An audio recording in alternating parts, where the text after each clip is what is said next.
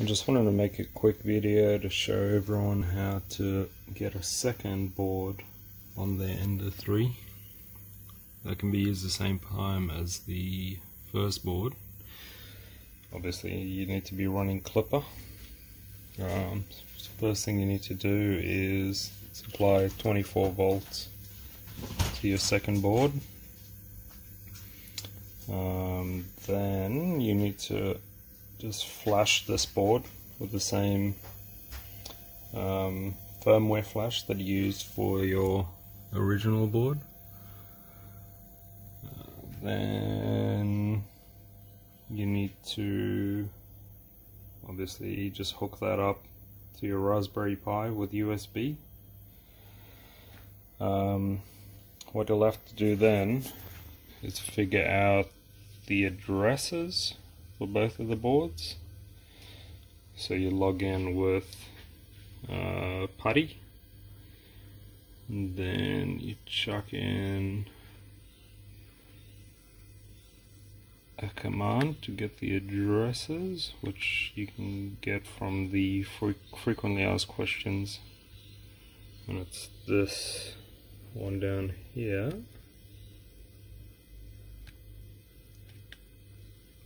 Copy that. And then in PuTTY, just right click to paste it. And that'll give you the two paths. So there's one. So this one says 1.2. That one says 1.4. So if I disconnect this board and run that command again. Just press the up arrow, enter. It only comes up with one now, and it's 1.4. So I know that this board is one the 1.2. So the next thing you need to do is go into your Klipper config. You need to add this section here where it says MCU and you have to call it, call it auxiliary board or uh, Z board. That's your only two options. So, or you can call it Z board like that. So I've called mine auxiliary board. And then whatever ports you want to use on this, so I've got an extruder hooked up to it at the moment on the extruder port. And I've got thermistor hooked up to the uh, hot end port. Little thermistor here.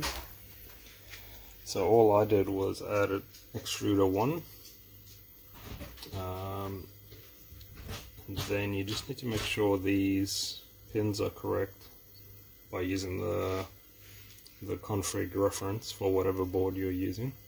If it's a if you have two of the exact same board then you can just use the pins from your normal extruder. There.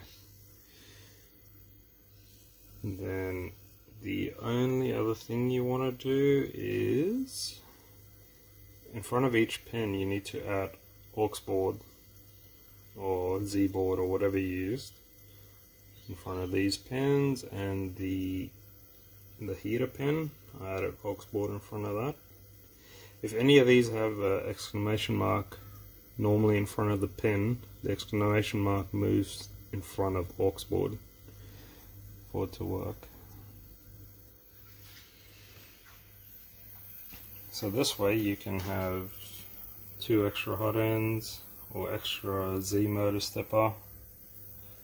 Um, so it's quite quite useful.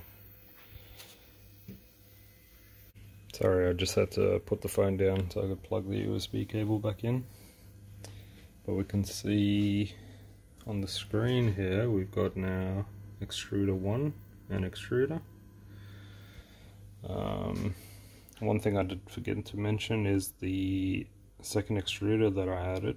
Uh, just put a 1 next to it. So if you add a second Z motor or something just have uh, a 1 there. Um, so we can see the temperature is 24 If I put my fingers on the thermistor, it should go up. Yeah, this one goes up. Or if I want this extruder motor to turn, you can just extrude on extruder one. Um, go max speed, max. I'll just hit retract. Saw that. So yeah, that's how you set it up.